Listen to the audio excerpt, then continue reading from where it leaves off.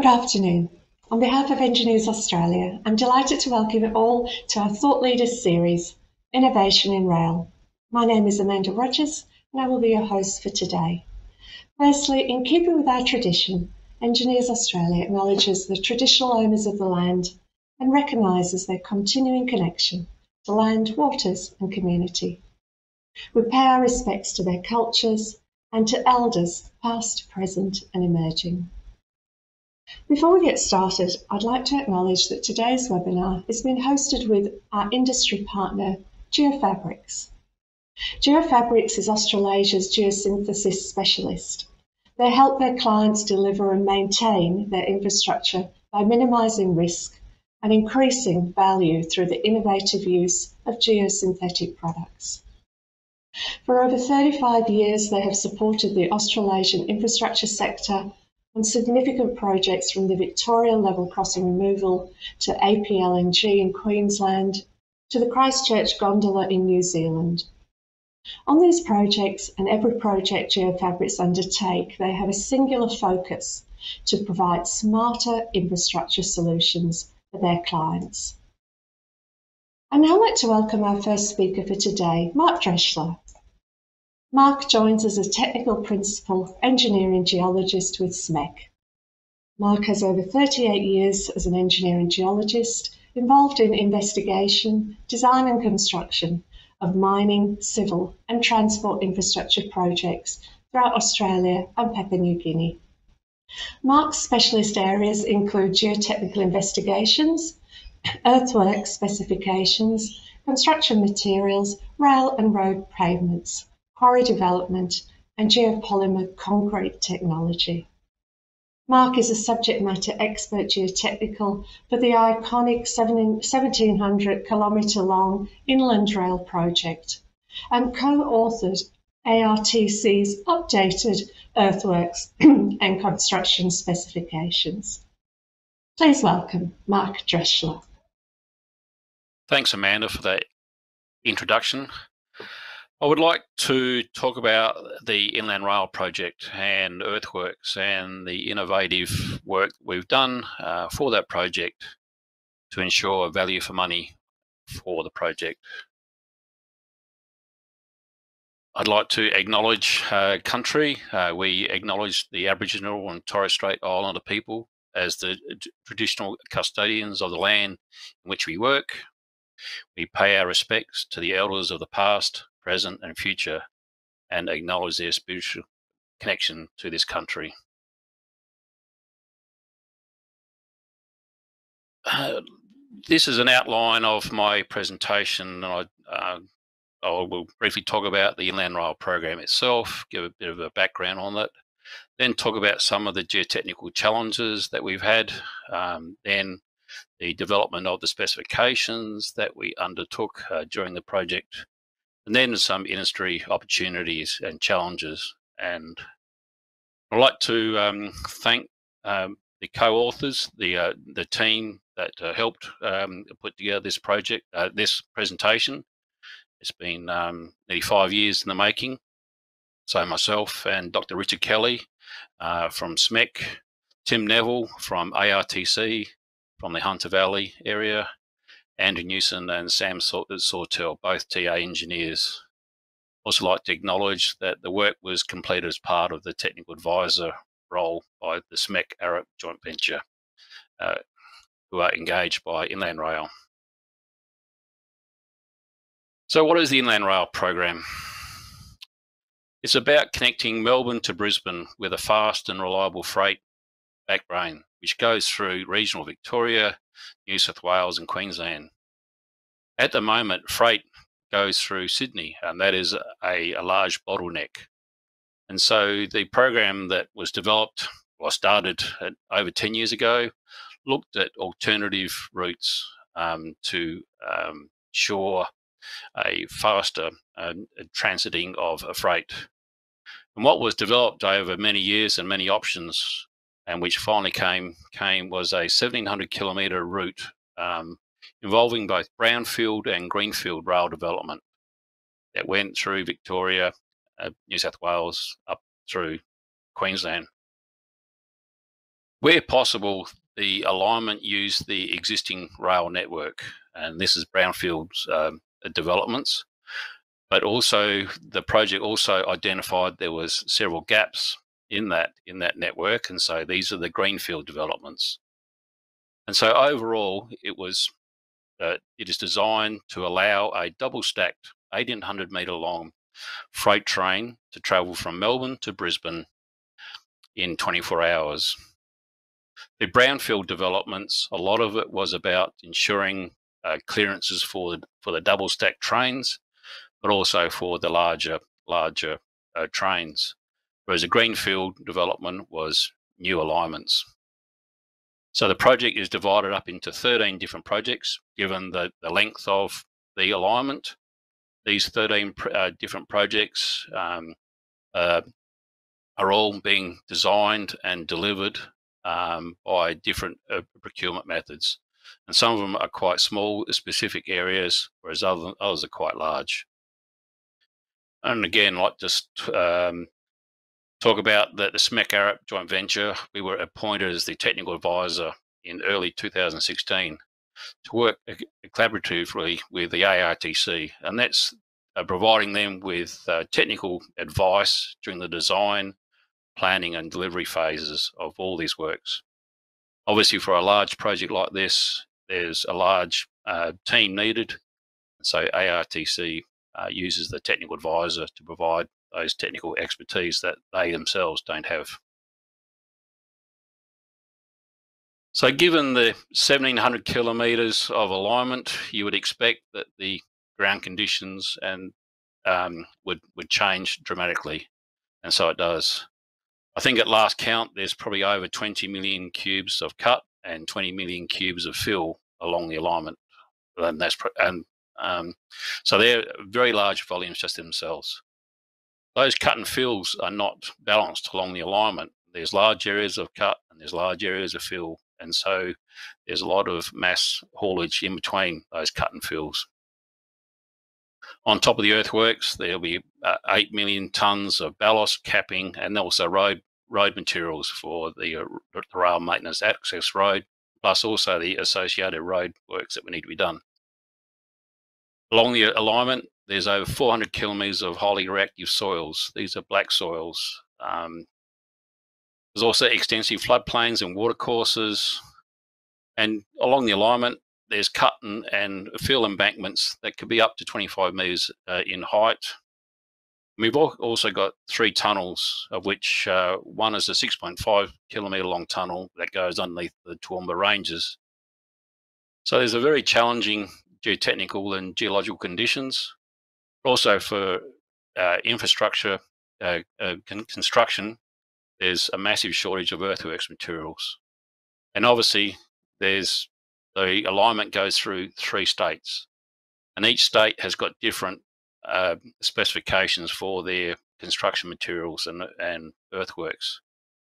And uh, believe me, um, the laws of physics change at uh, borders, even though they shouldn't. And so, one of the challenges for inland rail cr crossing three jurisdictions is to have the same specifications all the way through. So these are some of the geotechnical challenges: dispersive soils. Some of the, the old, uh, the existing rail um, network has got bit, has been constructed using um, fly ash materials and other materials that, that, we wouldn't use today. There's water courses, and below um, the figure below is the uh, black soil. Some of these are quite deep, up to two or three meters deep of black soils. And when they get wet, they're very problematic. So at the start of the Inland Rail program, we were, we looked at the ARTC existing specifications and we, and we found that they were very uh, prescriptive specifications. And due to the the large nature of the pro, of the program, we decided that we needed performance-based specifications, which would then allow us to achieve value engineering solutions along the whole, whole alignment. So we revised the materials and construction specifications to allow us to flexibility to meet all those geotechnical challenges that we would find along that 700 kilometre route To help us with that, we also engaged um, with the ARTC business and we learnt from their existing network, including the Hunter Valley Heavy Haul network.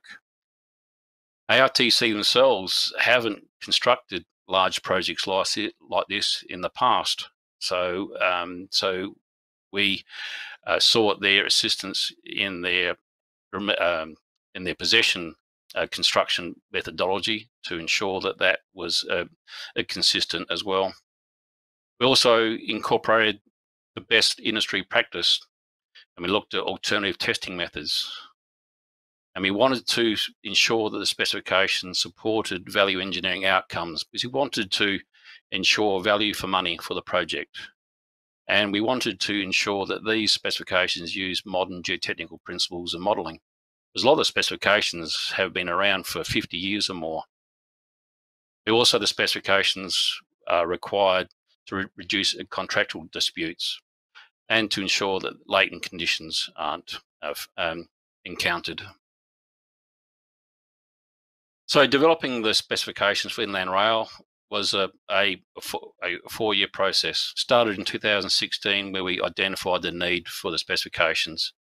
We developed the uh, Earthworks material specification, ETC 0803, um, as, as, the first, as the first step. Because we were starting to do some of the geotechnical investigations for the program, so those material specs needed to be identified.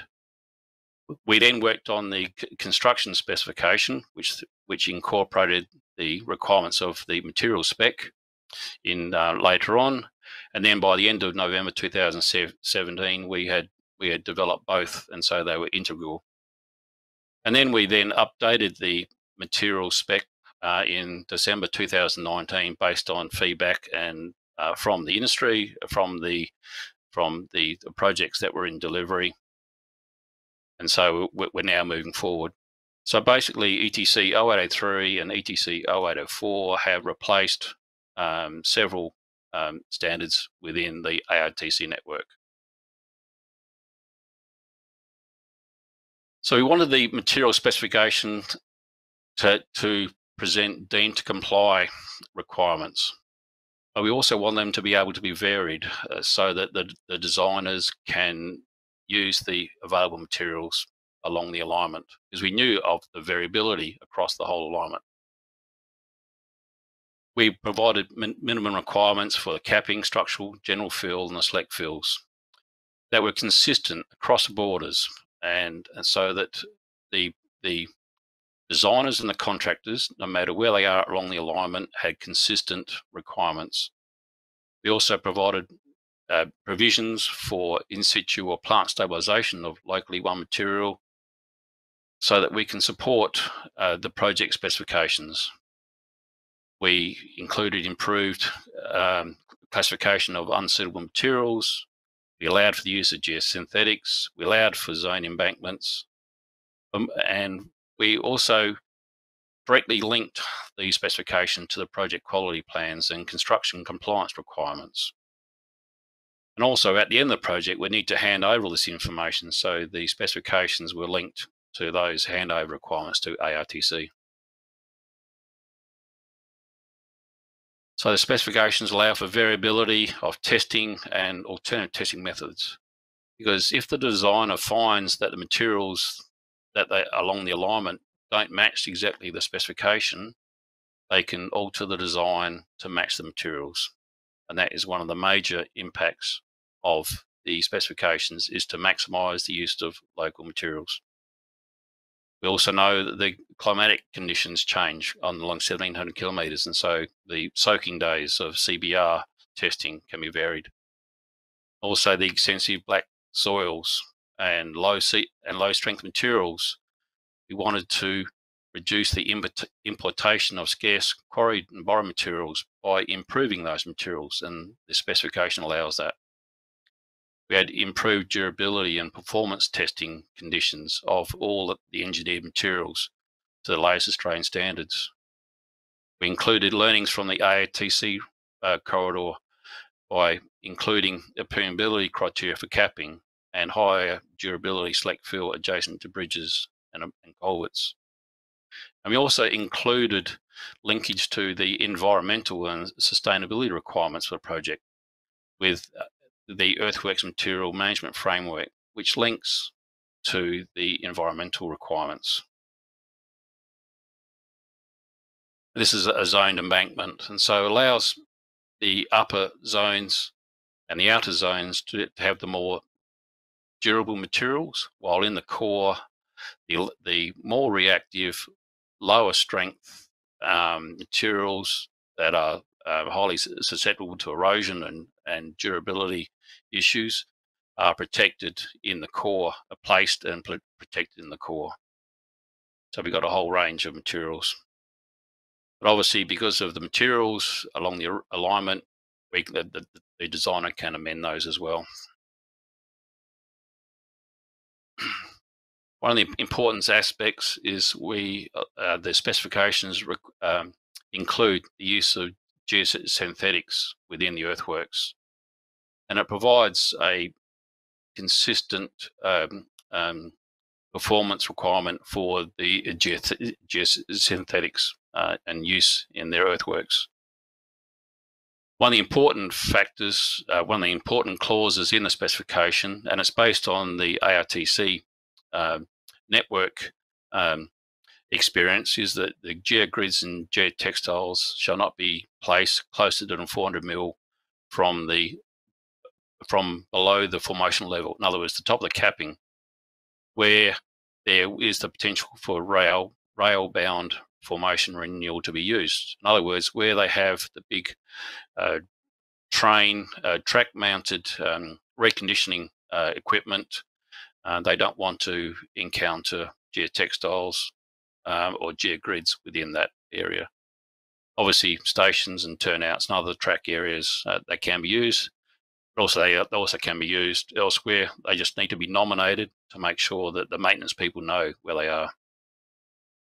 Another important aspect is the geosynthetics uh, nominated uh, performance uh, uh, based on nominated performance. They're not specific, specific to products or suppliers. Inland rail needs to be agnostic. So the geosynthetics um, um, the geotextiles are based on strength class and filtration. So these are the types of criteria, all with Australian standard uh, requirements and uh, clearly de delineated. And these are the filtration, so strength and filtration. The geogrids, we identified that the industry and the market has several uh, products. And so we wanted to ensure that all those products are potentially used within the project. So we developed the GeoGrid class applications, uh, five classes, to allow for uniaxial, biaxial, and multi-axial uh, GeoGrid products. And then the the um, the area in which those different products could potentially be used within the earthworks, including the ballast. So these are the class applications. So this is for the uniaxial and biaxial. And these are the multi-axial grid classifications. These are all industry standard requirements, but they combine all these into a single specification to make it easier for the designers and the contractors to use. As I said, we wanted to ensure that the specification supports inland rail's drive for maximising the use of site won materials and minimising the use of imported materials.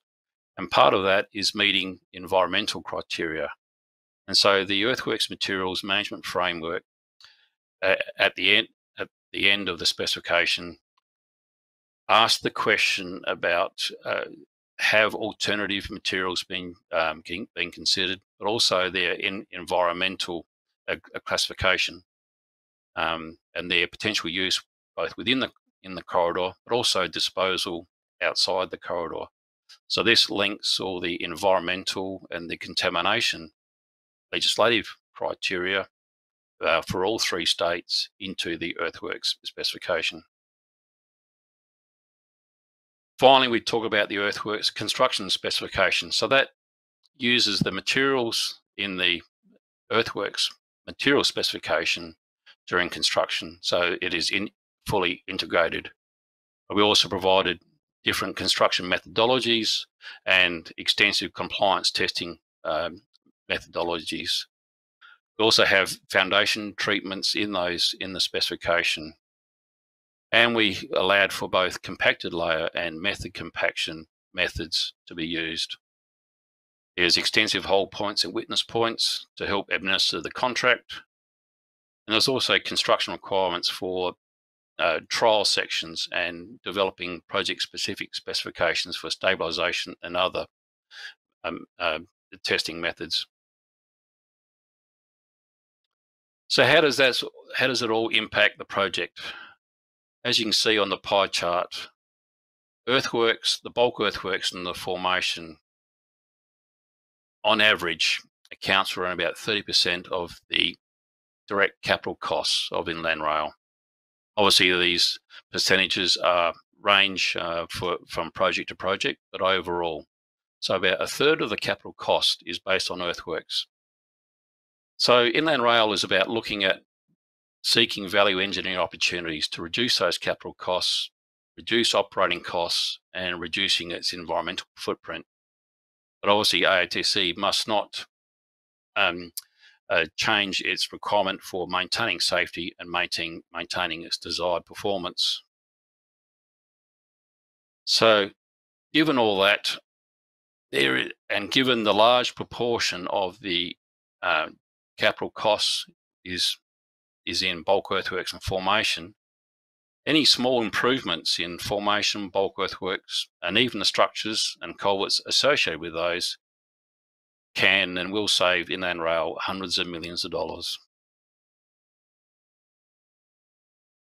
This is just a quick uh, diagram. It's quite complex, but it shows some of the design assumptions that influence the earthworks costs.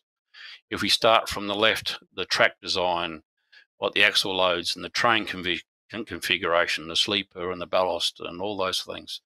And then we go down and, and how those loads are in are transform and interact with the underlying formation. That's the capping, and then down into the structural fill layer. And then finally, those loads then go into the earthworks, the, the bulk earthworks design. So if we go onto the right side, we look at how those loads are impacted and imparted into the general fill and the subgrade. And then, as part of the design, how are all those different layers um, uh, performing with those loads? But also, there's not only the loads from the train, there's also many external factors for the earthworks design. And you'll see that the earthworks design is driven by the horizontal and vertical alignments, the flood immunity, cut and fill balance, where culverts are, bridges, and a whole range of other issues that all need to be considered as part of the earthworks design. Each one of those elements has a cost estimate uh, element and a risk element, which Inland Rail needs to consider. So, what are the Inland Rail is a unique opportunity. Um, it is 1,700 kilometres of Australian terrain, and it is a, a, real world laboratory. And Inland Rail actually encourages um, um, innovation uh, by its designers and, con- and contractors.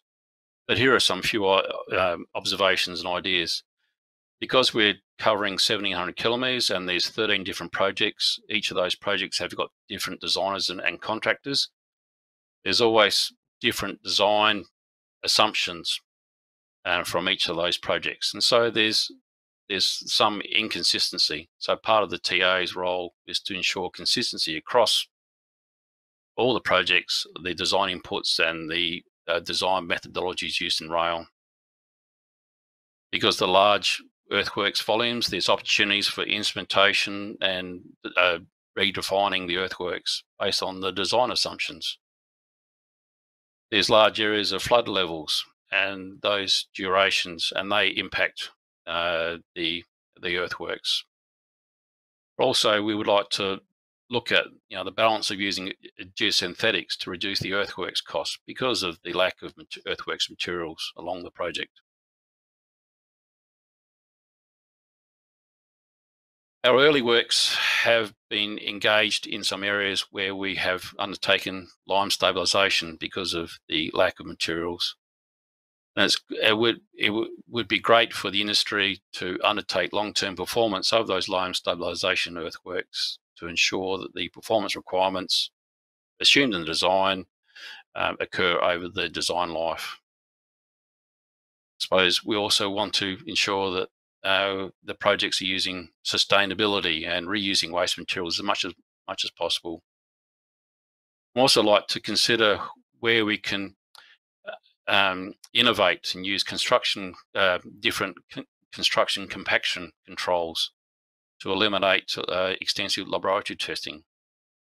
We also like to link the projects you know, into information systems, and so that the maintenance and the long and the and the own the asset owner ARTC has that information for the long term. So, in summary, ARTC found that prescriptive earthwork specifications are most suitable for their small projects and maintenance occupations, and that's because they they require tried and tested solutions for their construction teams, especially in possessions. However, long large projects like Inland Rail, which covers 700 kilometres large earthworks volumes, a performance-based earthwork, earthwork, specification provides much more um, value engineering opportunities where designers can optimize the earthworks to meet the challenging geological and geotechnical conditions. A major rail project such as Inland Rail, which covers several jurisdictions, can be the, the vehicle for development of best practice performance earthwork specifications. So we can lead the way. So ARTC has developed performance-based specifications ETC 0803 for earthworks materials and ETC 0804 for earthworks construction to allow greater use of Site 1 materials from the rail corridor. We've done that because we are we know that track, the track formation, the bulk earthworks, can comprise around a third of the inland rail capital costs. And any improvements that the specifications can facilitate will provide significant cost savings to inland rail. And inland rail is being financed by the federal government, so all taxpayers will have cost savings. So Inland Rail seeks the designers and contractors to rise to that challenge to, so that they can, so that Inland Rail can actually realise those cost savings. And it's been interesting as the technical advisor is to try and challenge those designers to get out of less, to get out of more conservative designs and to be less conservative in their designs. And finally, there's the opportunity for some targeted rail research to look at the long-term performance benefits of the, de the design assumptions and the specifications that we've developed in the earthworks and the formation design and to ensure that the design life of the project is met. And I'd like to thank the Inland Rail project for this unique opportunity to work on a large project over a wide variety of conditions with a fantastic team. Thank you very much. Thank you, Mark, for your insights. I'd now like to welcome our second speaker, Rajesh Fasal. Rajesh is leading the team of Business Development Infrastructure Sector for Geofabrics Australia. Rajesh holds a Bachelor of Engineering degree in Civil Engineering and has over 29 years of design and construction experience, with over 14 years in business development and technical marketing of geosynthetic materials in Australia. Rajesh joined Geofabrics in early 2007, worked in design section before moving into a business development position. During his 14 years of tenure at Geofabrics, he has been extensively involved in assisting geotechnical consultancies throughout Australia by offering preliminary evaluations on road, rail, vertical structures, high embankments, ports and airports using different geosynthetic products. So currently a member of um, Australia, member of AGS and ACIGS, Australian chapter of International Geosynthetic Society. Please welcome Rajesh Baisal. Good afternoon, everyone. Uh, first of all, Amanda, uh, thanks for a great introductions. Um, my name is Rajesh Bausar. I'm working as the National Business Development Manager of Infrastructure Sector for GeoFabrics, and I'm here to talk about using some geosynthetic materials in a rail solutions and what innovations has been done in last 30 years in rail industries. Uh, so my presentation outline covers rail solutions, a case studies, a sustainable product range, other products and applications in rail, and bit of summary on geosynthetic usage in, in Australia. So first of all, let me talk about the rail solutions. So we as a GeoFabrics has been involved in rail industries since 1991 here in Australia. And our involvement covers wide range of the applications, including capping layers, so stabilizing capping layers with geogrids and uh, geocells and other geosynthetic materials. We are also involved in ballast stabilizations. We recently introduced anti-mud pumping geocomposites. Uh, number of projects of level crossings, turnouts, bridge approach slabs for controlling the differential settlements. Uh, we are also looking after looking for some other options using ballast stake mats, subsoil drainage, which is our mega flow we manufacture here in Australia, rockfall drapery system, I should say, erosion control products, and concrete canvas. Now, first of all, I will give you some understanding of mechanically stabilized rail track pads, which is in a capping. So if you consider capping layer and current design on certain subgrade conditions, we know that uh, uh, design guidelines actually requested to place around 0.5 to 1 meter thick structural fill on a very soft subgrade. On top of that one, we have a capping layer, certain thickness of the ballast, and rail. Now, when we introduce a layer of geosynthetics in this structural and capping layer, our main function is increasing bearing capacity without compromising with the performance.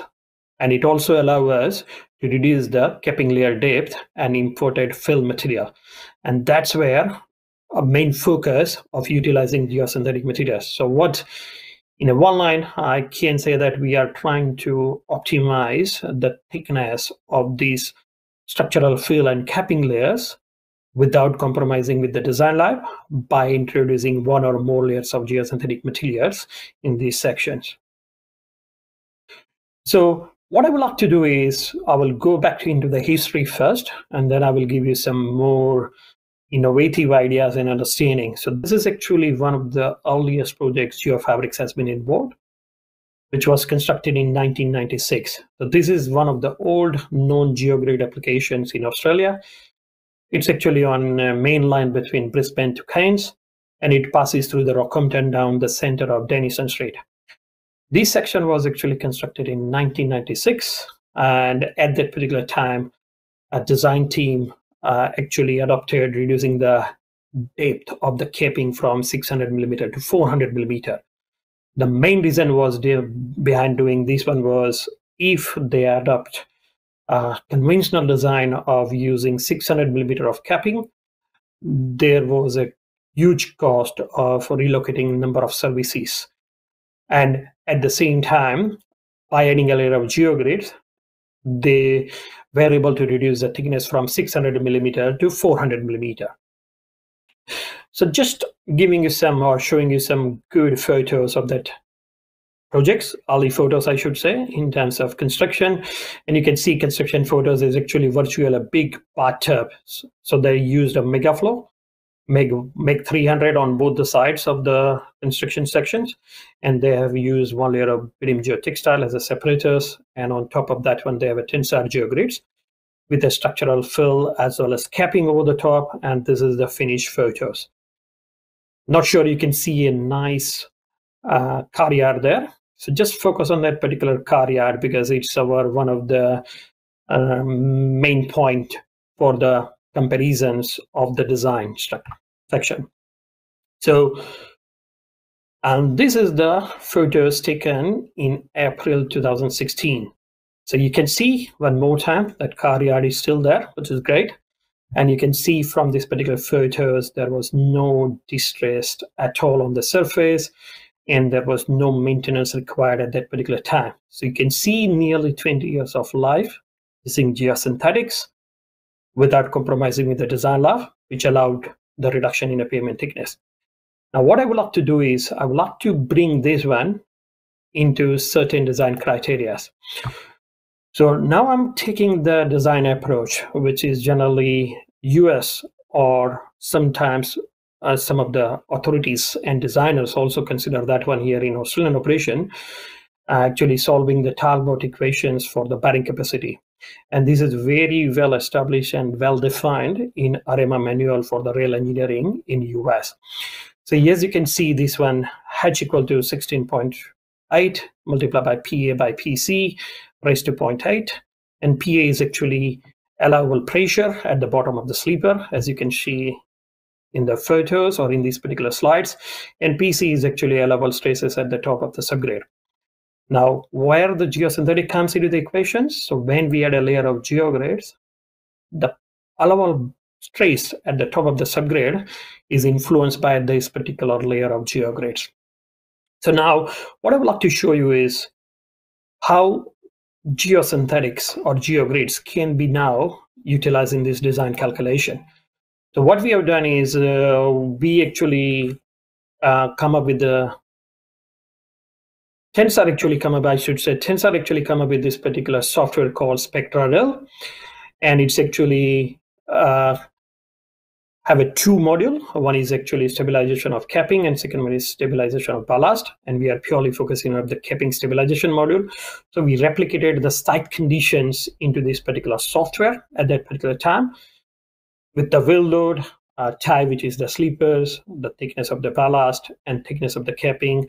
And in this particular case, we are comparing the performance of Tensar TX geogrids and Tensar biaxial geogrid, which was actually used on this particular project in 1996. So if we consider the output of the capping, you can very clearly see that if we design this particular section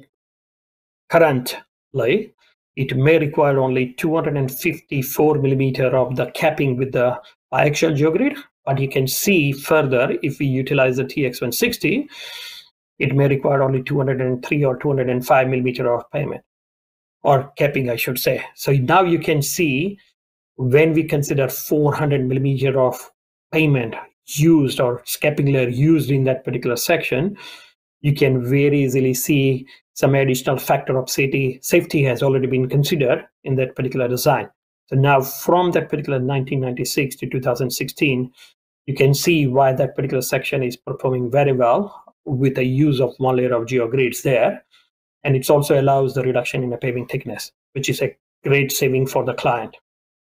Now, what I would like to show you is further, I'm Tensar has taken this one to the further level by carrying out lots of triaxial testings on these particular geogrids with the different types of fill material. So Tensar geogrid used throughout the world to stabilize the capping layers. Same thing with the stabilizing the ballast layers.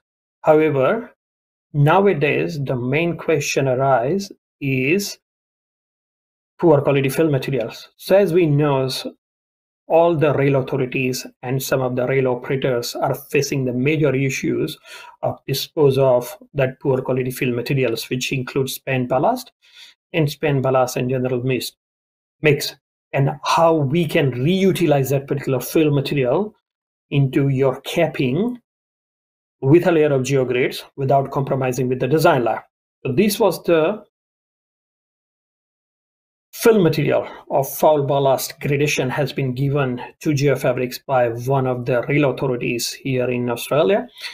And Tensar actually replicated uh, the fill material, which you can see as a foul ballast in their laboratories to meet these particular certain gradation criteria.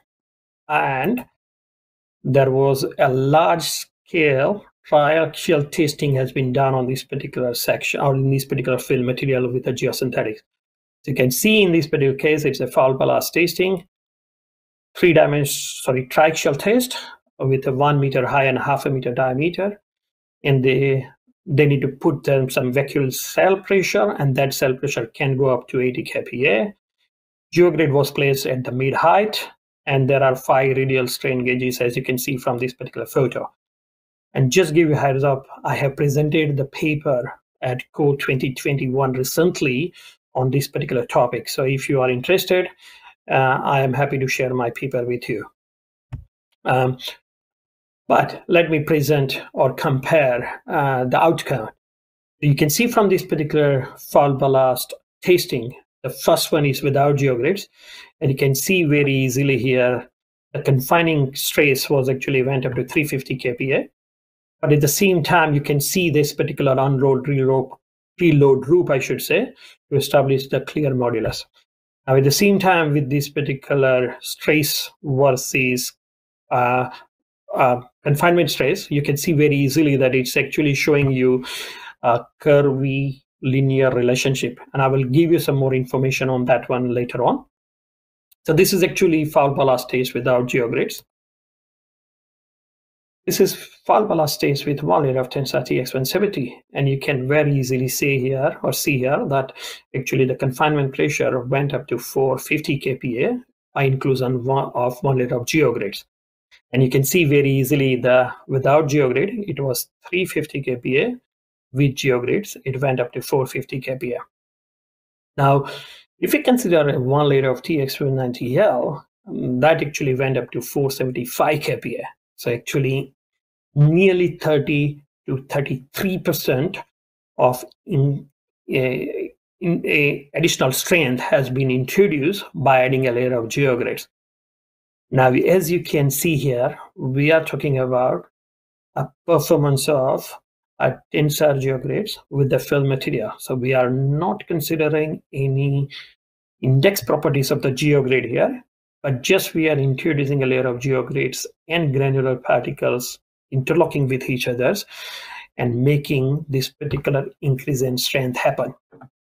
So in a summary, if I go back to here, in this particular case, you can see this particular one layer of Tensar triaxial geogrid actually offering a very high shear strength from the stabilization effect.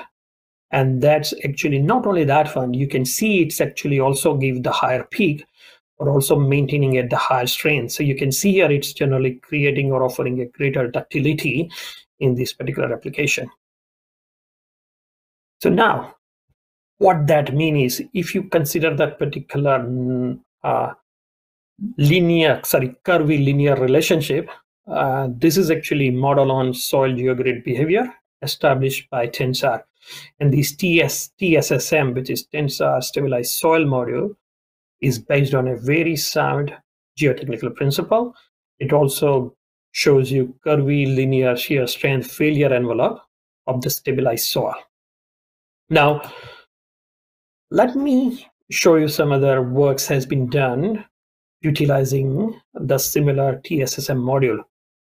So this is outcome of uh, study where capping uh, consider of CBR 45 material without geogrid. So client was actually interested in measuring or seeing if they can replace CBR 45 material with CBR 25 and one layer of geogrids. So this is actually just a very good comparison of the vertical stress of both the sections. So which means when I said both the sections, I'm talking about CBR 45 material with no geogrid and then CBR 25 material with a one layer of geogrid.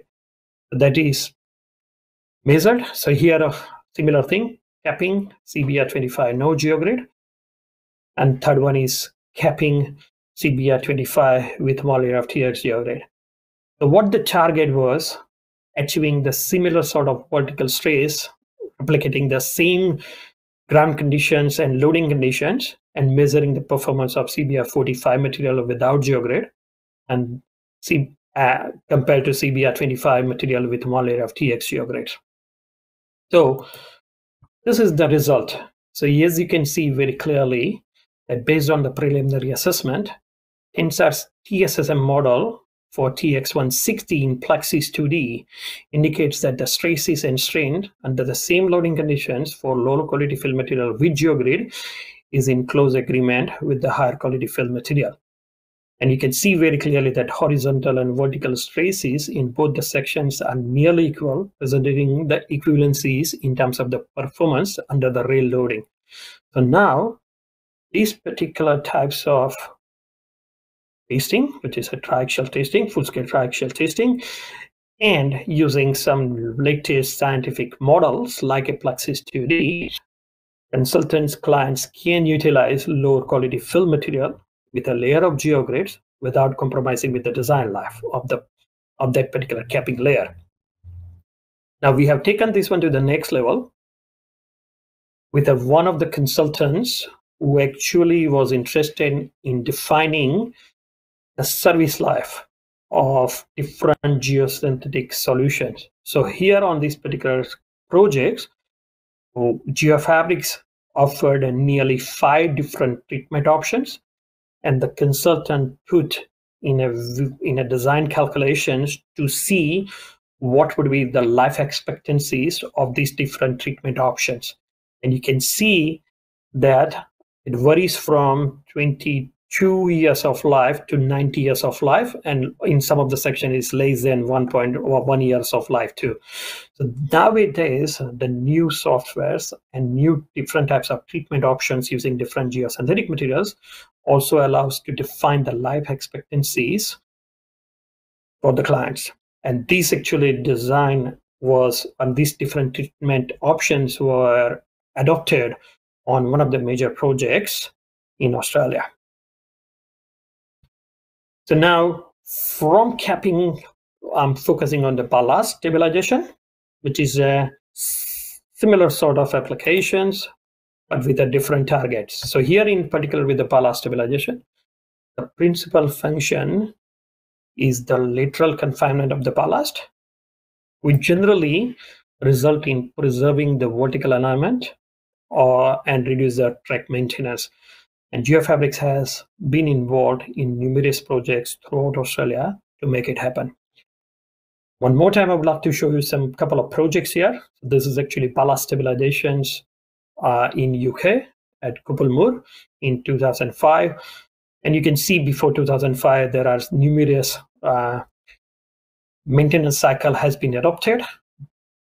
But in 2005, when a layer of GeoGrid was installed in this particular ballast layer, actually the maintenance interval was factored by eight. So in that particular case, they they need to actually maintain this particular uh, ballast or tamping every six months. This went up to four years without any tamping. And that was a very good definitions of how this GeoGrid can introduce and install properly as well as improve the design life. Now, what I would like to show you is a very smart invention recently done by Pennsylvania State University called a smart rock.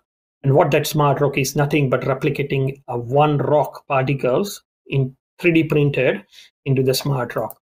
Just I would like to show you a nice videos of this particular case where you can see without geogrids under a cyclic loading and with Tensar TX1 90L geogrid. So you can see in this particular case uh, where the interlocking mechanism with tensar triaxial geogrid didn't allow any movements in that particular ballast layer.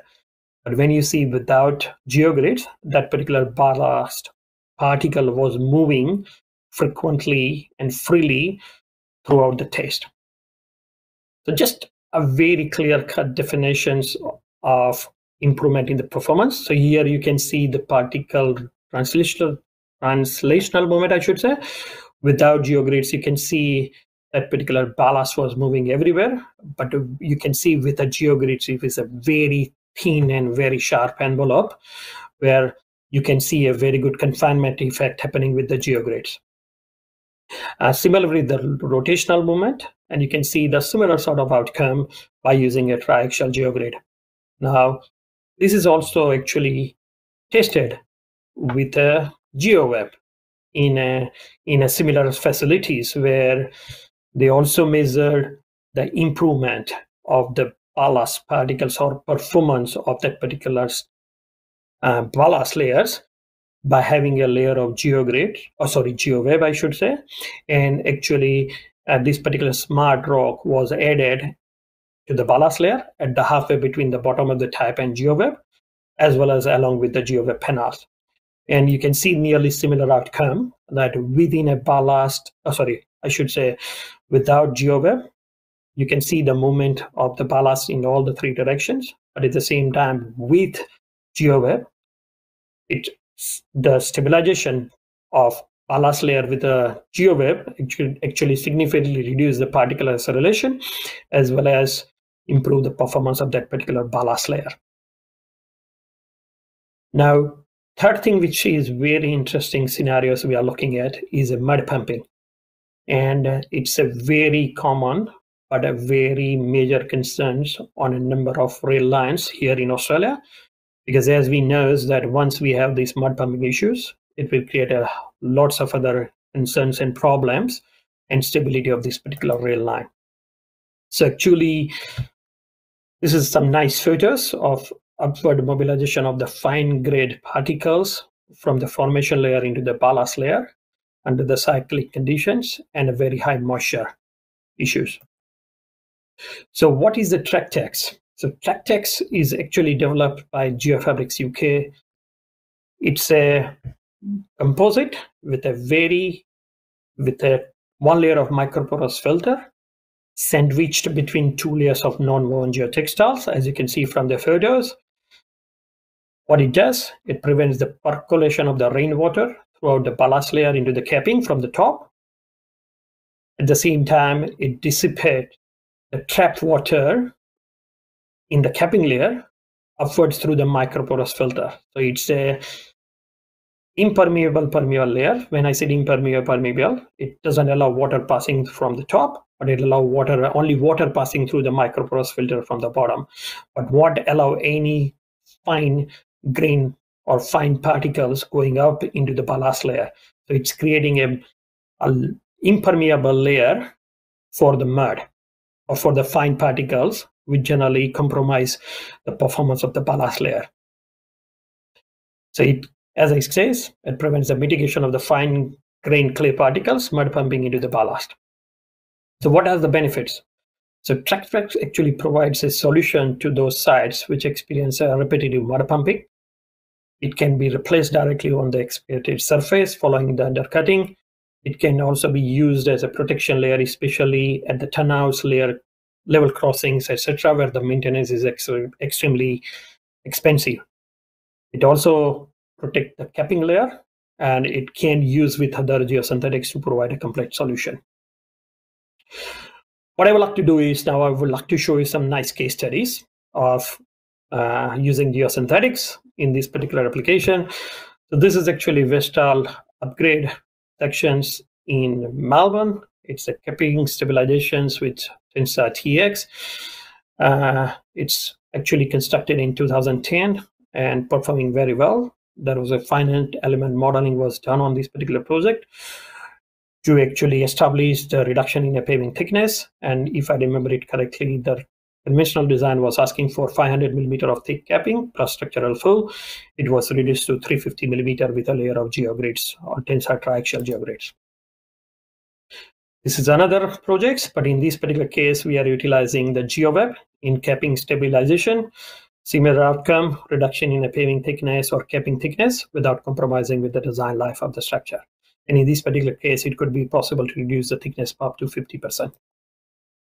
Um, another station pit rehabilitation project. So uh, there was a several mud pumping issues uh, which caused the ballast contamination. They had a major issue with the drainage pipe. So the solution was asking for implementation of further mud pumping, improvement of the ballast stability, and subsoil drainage. Uh, Geofabrics was involved in this particular project and offered a solution using three different geosynthetic materials, which includes Tractex anti-mud pumping geocomposite, Tensar TX190L, and Megaflow for subsoil drain. Uh, and you can see uh, the very clear evidence of uh, mud pumping. As you can see, the next, the first photo or major photos where it, you can see some uh, vegetation occurring in this particular, place, and you can see very soft subgrade at the same time. Uh, and this is actually current station pit, uh, and we are we are actually monitoring these sections. Uh, the station Pete was actually rehabilitated in 2017 and we are keeping an eye on this one. Uh, this is another ballast stabilization with Tensar TX190L. This is one of the mining projects we have been heavily involved, and it is success. Uh, our solution has successfully been accepted by the clients on this particular project. This is another project, but it's a very unique where we are combining the performance of GeoGrid and GeoCell. In this particular case, it's a Beams Road level crossing in Queensland we utilize the layer of GeoWeb to reduce the capping layer depth, but at the same time, we also use Tractex and TX190L to enhance the performance of the ballast layer and actually prevent the mud pumping. So some nice photos, excavations of uh, subgrade conditions, placing the GeoWeb and infilling the capping, installation of Tractex and installation of TX190L, and placing the ballast over the top. Now, what I would like to do is I would like to introduce our green range of the solutions where GeoFabrics is now very proud to utilize some recycled polymer materials in our manufacturing process. I will start with Bidim Green. As you know, Bidim is made in Australia, but by utilizing some recycled polymer materials in this particular Bidim Green, there is no compromise in the performance. It also offers efficient separation and filtration capacities, there is a proven performance. And I can proudly say that till today, we actually saved nearly 10,000 bottles of PETs, like Coke bottles and water bottles, going into the landfill by utilizing in our manufacturing process. We recently also introduced Megaflow Green, which is now we can probably say that it's 100% recycled uh, bottle, which is milk bottles. It's also made in Australia no performance compromisations, efficient drainage capacity, and proven performance. So we are more and more focusing on utilizing recycled polymers in our manufacturing process. The third one is we are taking it to the next level by actually laminating or heat bonding our Bidim green material with Tensar GeoGrid. So we can offer two products together, single installations, easy to install and no compromising with the performance. Last but not least, this is a Tractex screen, which we are we, we are going to introduce very soon into the market. So we are actually replacing two layers of virgin geotextile with a recycled Bidim material. So the performance will be the same, microporous filter will be the same, but we are adding some sort of sustainability in our manufacturing process and replacing that two layers of virgin geotextile with a recycled polymers material. Now, other products and applications uh, in this particular rail application or rail sectors, the first one is definitely rockfall protection system. Uh, and as you can see, McAfee rockfall recovery system is well known and well proven uh, project uh, system in Australia and these are the local case studies or cases where our rockfall netting has been used successfully in these particular projects. Some erosion control issues, which is very common and evident in number of rail sections. So first one is definitely MacMat erosion control woven, which is compromised woven mesh turf with the reinforcement matting. The second one is also GeoWeb using for a slope stabilizations. And in this particular case, you can actually use either soil infill or you can utilize spent ballast. And this is actually one of the project of uh, mining applications where GeoWeb was installed on a slope stabilization, but it also allows using stem uh, spent ballast in, as an infill material. And third one is definitely grassroots, which we proudly say manufactured by Geofabrics here in Australia. And we have a number of cases using grassroots as a horizontal matching uh, on different rail applications. Now, I will introduce you a new product called Concrete Canvas. And I think so you you may aware of this particular product, which is utilized for ditch lining. And you can see this is one of the Queensland Rail projects where it was used to line the longitudinal uh, um, ditch. Uh, to this is also another sections where it has been used for the transverse lining applications some nice photos of the slope protections. And this is one of the projects with the Queensland Rail, where uh, actually uh, concrete canvas was used as a weed separations. You can use this one for a bund lining also at the same time. And you can see this one is uh, very nice photos of how concrete canvas was used as a weed separations on one of the projects with the with the rail industries in Australia. This is actually Red Bank slope protection or remediation sections where number of different geosynthetic materials utilized to remediate this particular slope, which includes geotextiles. You can see a gabion structures there. You can use cellular confinement system in one of the sections. We also use our grassroots as well as concrete canvas in this particular section. So I'm nearly there to finish my presentation summary in geosynthetic, so summary on geosynthetics in rail. So geosynthetics can achieve a value engineering and offer a significant cost savings. It also reduces the construction cost. It allows or offers a design flexibility to the clients. It delay the maintenance cycles, lace position times, reduce maintenance cost. And this is one of the very nice photos of a very old projects from Queensland. But it, you can see our Tensar or Bidim geotextile and Tensar was used or installed in this particular project. Main point to be considered is investigations and constructability. I'm finishing here with my presentation. Uh, I, I'm thankful for Engineers Australia to allow me this particular presentation to for a wider communities, and uh, I'm I'm here to answer your questions. Thanks.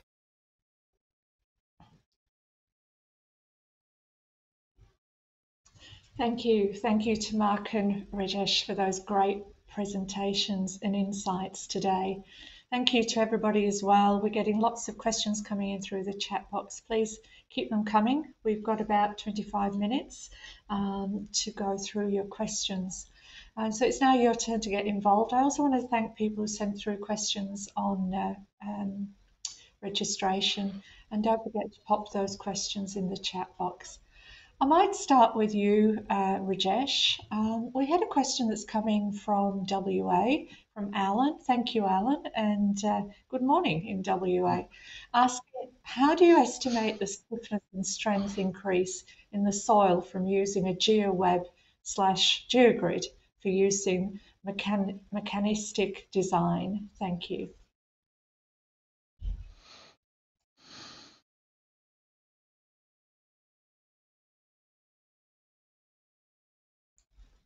I think Rajesh is. Rajesh, can you unmute? Thank you. Maybe, maybe while uh, Rajesh is just sorting out, sorting out that technical hitch mark, um, we had a question that came in around your presentation uh, asking, yes, can this tra track be used for passenger services between Brisbane and Melbourne, connecting regional communities? Uh, great question from uh, Chaminda. Thank you. Yes, yes, Chaminda. Um, I suppose the Inland Rail network is using some of the existing rail network, and so some of those sections of the rail network um, do have uh, passenger trains on them.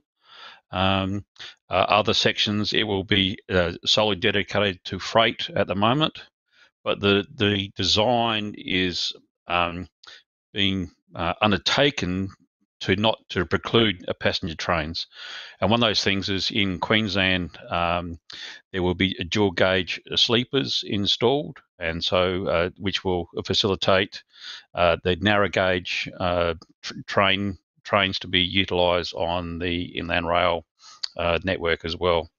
So uh, while it's being designed for freight and will be money used for it, um, it doesn't preclude uh, passenger trains along it.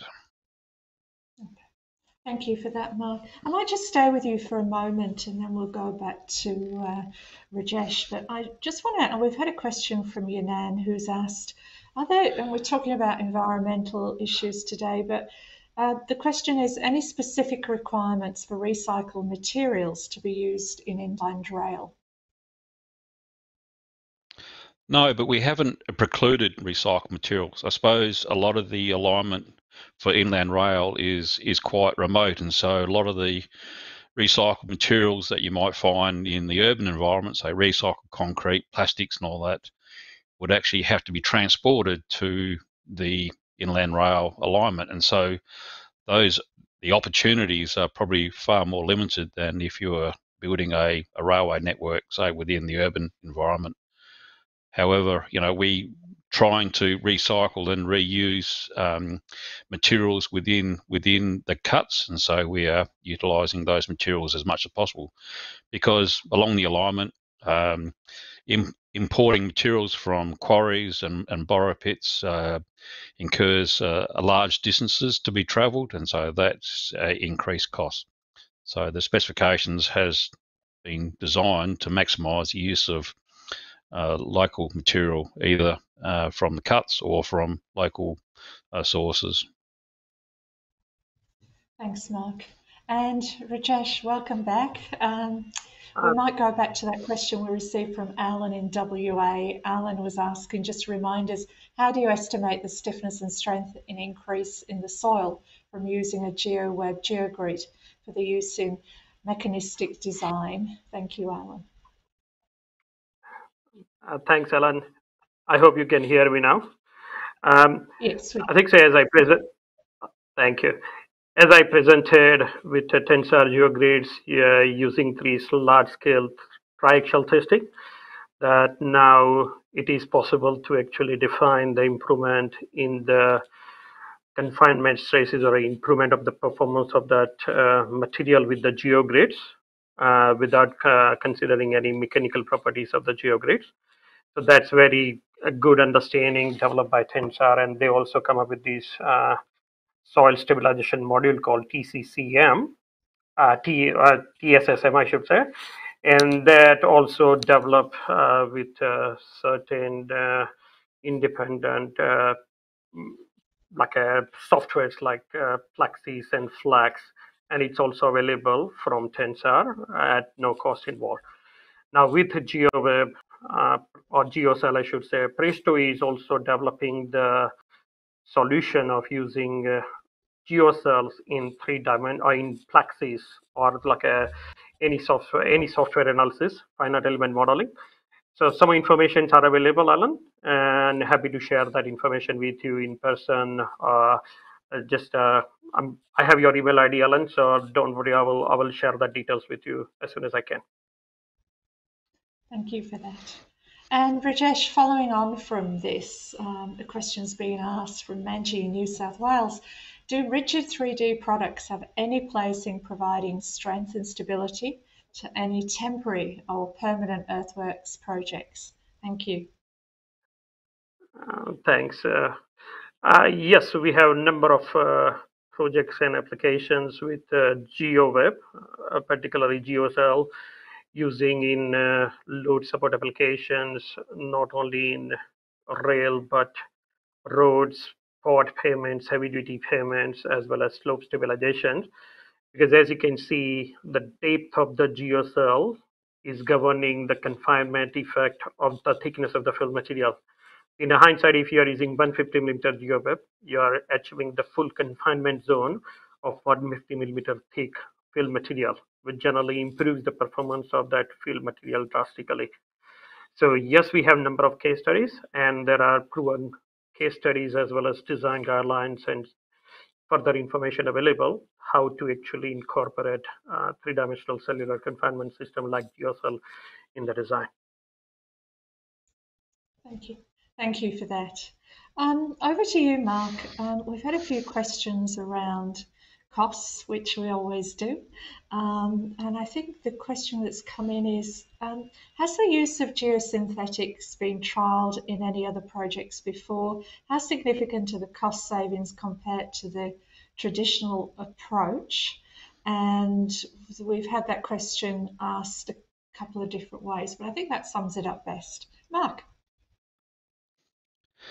Yeah, I suppose um, for the Inland Rail project, um, there's two aspects. There's the brownfield uh, sections, which um, uh, Inland Rail is going through and doing um, works on that to upgrade that track to meet the 30 ton axle load requirements, but also for the clearances for the for the double stacking. And so there's there's lots of opportunities where the geosynthetics uh, may be and are being used um, to reduce the earthworks in there and the earthworks volumes and the costs. A lot of that is done under possession, so there's limited time, and so where you can reduce your earthworks volumes um, by using geosynthetics, that is a, a advantage. I haven't got any details of cost uh, cost savings because I'm not part of that. For the main for the, for the main for the greenfield sites, um, geosynthetics uh, um, has been and will be used, uh, money in specific areas, and a lot of it is in the temporary works. But also, it is um, suitable for use, you know, in, in the major earthworks earthwork section. Thanks, Mark. Um, moving on to some of the challenges, um, Jeremy, uh, good afternoon, in New South Wales has um, sent through a question directed to you, uh, Rajesh, asking what problems have you observed with installation of geofab grids in rail beds or road pavements, i.e. overlaps, folding on curves, or against side ends of subgrade excavations? Rajesh. Thanks, Amanda. Uh, look, Jeremy, um, particularly with uh, the geosynthetic materials uh, we are, we are talking about here is not that rigid material. They are still flexible yeah, so particular geogrid comes in a roll. So, and majority of the geogrids suppliers and manufacturers have a very good understanding in terms of overlapping and everything. And there is a good guidelines available from AREMA or uh, Austroads as well as AASHTO that what the minimum overlapping is required which is generally depending on your subgrade condition. So we have some very good uh, installation guidelines available on all the products, uh, including GeoGrids and GeoCells. And we have a successful case histories of utilizing this material here in Australia on a number of infrastructure projects. So particular, as I explained, with the GeoGrids, our first project with the GeoGrid was in 1991, and it has been successfully installed.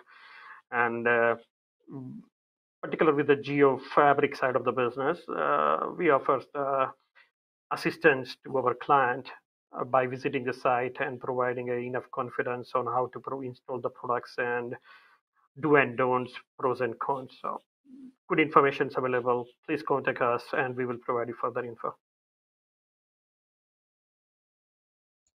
Thank you, Rajesh. And just staying with you, uh, Mark, we touched on, we've had quite a few questions on cost. So I just wanted to get your view, Rajesh. What, what, from a geofabrics, what, what is the cost benefit of using the material? Um, uh, thanks. Thanks, Amanda. Uh, generally, the main target is whatever I, we have seen here in Australia is reducing the thickness of either capping or structural fill by utilizing one or two layers of geo or multiple layers and different geosynthetic materials.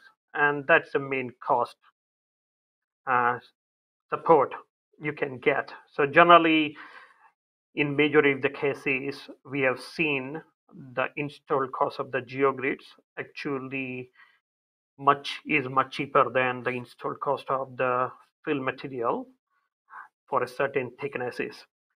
The other cost effectiveness is utilizing the low quality fill material, which is very easily available And as Mark presented that uh, in ARTC specification, they also allow that one you utilize the low quality or inferior quality fee material. But at the same time, we also have a target to achieve certain um, performance out of that layer in terms of strength. By adding a layer of geosynthetics, it's also allow you to utilize that low quality or inferior, inferior quality fill material. And uh, there are some sound value engineering is available for, for this type of approach. So in terms of our understanding, geosynthetic use always come with a very good cost benefits for the clients. Can I just add something to that? I think um, it it provides uh, designers with uh, additional options um, for their designs, and so and so we can look at the earthworks volumes, materials, and where and obviously um, uh, a node design solution meets all all applications, and so Geotex, uh, Geosynthetics uh, provides an additional tool for the designers uh, to be able to use in specific locations and that's that's really what it's all about. Is that um, there's no one size fit all for, for any any engineered solution. Thank you, Mark, for that. Um, Rajesh, uh, Kimberly has sent in a question to you, and she's asking, um, could I please have any innovative treatments? Uh, could I please ask, have any innovative treatments been applied to black soil to reduce capping layer or reuse the material? Thanks, Kimberly. Uh, thanks, Kimberly. Um, yes, uh, um, I still remember some of the projects we have been involved with, uh, in particular Queensland area, uh, with some of the rail authorities where geosynthetic has successfully been used and installed in early or late 90s or early 2000s, I should say, on a black cotton soils, uh, which enhanced the performance of structural fill as well as ballast.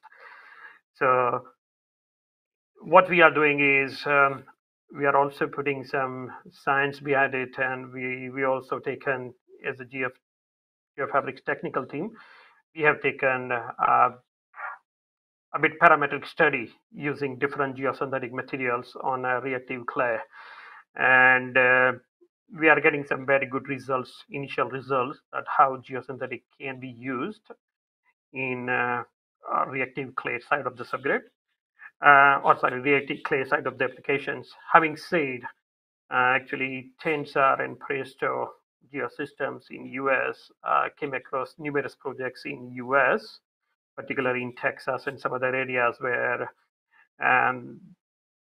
Tensar has truly published some nice uh, case studies as well as uh, full-scale trials on on the reactive clay subgrades and they are getting a far better and results uh, compared with the control sections as well as they also compared uh, with the stabilization, which is lime or cement stabilizations. And I still remember Professor Jorge Zornberg presented his outcome maybe two or three years ago to the Australian industry, uh, comparing the use of geosynthetics versus uh, conventional methods like uh, stabilizations as well as control method, which is a thicker pavement. Uh, as Mark mentions, it's definitely horses for courses, so uh, need to be very careful which layer, uh, which options and methodologies you are selecting, but it has been used. Also, um, geosynthetics can be used for both the temporary works as well as the permanent works. So the permanent works is it's part of the design, but temporary works in black soils, you know, you get some rain and uh, the conditions go all very soft on that. So um, you know, geosynthetics has been used uh, to get uh, cons- construction equipment back onto the site, uh, placing geosynthetics and a, and a thin layer of, of fill over that, uh, it gets you up um, out of the bog. Uh, so, so those temporary solutions are just as important as the permanent solutions. Thank you, Mark, for jumping in there. We've had a couple of questions that include uh, Tensar. Um, one of them is, uh, Rajesh, is what is the life durability of the Tensar tri-ax layer And if you can just hang on to that thought, because we're getting such a lot of questions, but around the tensile la- uh, layer, um, Jabril is asking, how would the tensile layer cope with chemical spillage? So one was around lifespan and the other around coping with chemical spillage. Thank you. Um, thanks, Amanda. So particularly with the life expectancies, um, the Tensar have a very good uh, documentations available on uh, triaxial geogrids, what would be the ex expectancy of the life, and it is uh, going up to 40 to 50 years. Uh, uh, made it, bear in mind, uh, Tensar triaxial geogrid is made out of polypropylene. Um, now I'm answering the second question, which related to the chemical reactivities. Because it's made out of polypropylene, it have a very high resistance against uh, pH, high or low pH value. And as we know, majority of the chemical containers are made out of either polypropylene or high density polyethylene. So it have a very high resistance against any uh, environmental impact or chemi chemical reactivity. Thank you for that. And over to Victoria and to Martin. Uh, good afternoon, Martin. Martin's asking you, Rajesh, how efficient are geofabric materials in minimising mud holes? Thank you. Uh, thanks, thanks, Amanda. Uh, Martin, uh, we introduced Tracktex uh, only nearly five or six years now, and we have uh, numerous case studies throughout Australia uh, to actually um, make it possible that uh, Tracktex is preventing a mud pumping in rail industries. And there are numerous case studies we have throughout Australia, which are successful until it preventing mud pumping happening through in these particular sections. And uh, as I presented in my presentation, that uh, the Geofabrics UK actually invented these products in early 2000s, and they, it was actually backed up with very good uh, trials and testing done. At the same time, the first full-scale trial was done on this particular product in UK in 2011, if I remember it correctly. There are so many case studies, uh, successful case studies, and and projects we have here in Australia where uh, Tracktex has been used, and still it has been used uh, by certain rail authorities in Australia. Thank you. Had a great question uh, come in uh, from Tech Chow uh, in Asia asking, um, directed to Rajesh, but asking um, to our speakers, is there good potential for maglev in replacing conventional rails for medium or long haul travel? Rajesh, you might want to kick off. Um, I I think so. I will leave it for Mark because uh, he, he might give you, you better understanding than myself. Um, I prefer to uh, pass it on to Mark, please.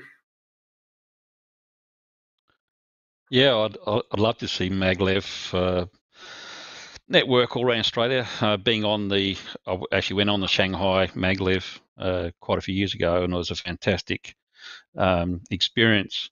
I suppose with the maglev and, and these high speed trains, they need very good uh, structure uh, underneath them because they're traveling at, such speeds, and so those those require very rigid rigid foundations and that. So um, uh, I think the cost um, the cost of those um, types of systems, you know, within Australia is um, uh, that um, isn't um, economical at the moment. You know, we just don't have the population or the or the or the budget to, to sort of do those. But yeah, I'd love to see a maglev go from um, Melbourne to Brisbane in probably four hours or five hours or something like that. So it'd be pretty good. It's certainly um, a beat going on a plane.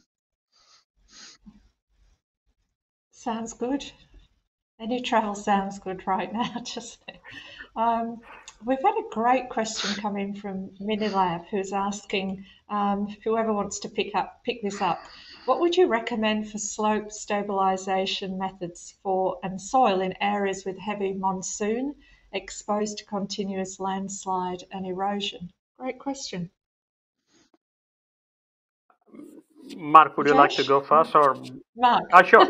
Uh, yeah, well, I suppose, you know, like engineering any engineering design of slopes is always a challenge and you've got and you've got lots of different tools that you can and, and levers that you can use as a designer you know obviously uh, within uh, high rainfall areas um, erosion protection and the durability of the material is is important and um, you know, laying back batters is is probably the first thing that you can do have flatter batters and, and having benches that, that capture those materials but if you if you haven't got um, the ability to flatten the batters, well, then you have to have steep. Well, then you need to protect it. And so, you know, there's a whole range of different products, ranging from the geotextiles all the way through to shotcrete and uh, paneling and all that. And so, like everything, um, it's it's really dependent on the situation and the and the cost uh, the the cost um, of of the project. Over to you, Rajesh. And thank, thanks, Mark. I think so. You summarized very well. So in terms of design and everything, it's possible. Uh, in terms of solutions, as Mark mentioned, there are numerous different options using or utilizing different geosynthetic materials. And that, that geosynthetic materials also allows, as Mark mentioned, to have a like a gentle slope of one to one to actually making it up to 90 degrees. So there are different options available using geosynthetic materials. And then if you are going with a typical slopes applications, you can actually protect the skin or surface by using different geosynthetic solution too, which covers which actually covers biodegradable material uh, to the geosynthetic solutions or permanent geosynthetic solution, I should say, uh, which is wide range of the different options and systems available. Thank you. Thank you. And we are running out of time, but I, I just wanted to pick up, I'm going to shorten Martin, who's in New Zealand. I want to shorten your question a little bit. Um, but he's Martin's asked the question Will the inland route be electrified? And I want to leave it at that. So, Mark, do you want to comment on that? Um, at the moment, the train plan is for diesel trains. So, um, 1800 metre long um, freight trains. So they'll have um, two locomotives uh, normally at the front um, with um, the amount of carriages. And so, no, it's not planned to be electrified. Um, it doesn't preclude it, um, but at the moment, no, it's not. Thanks, Mark.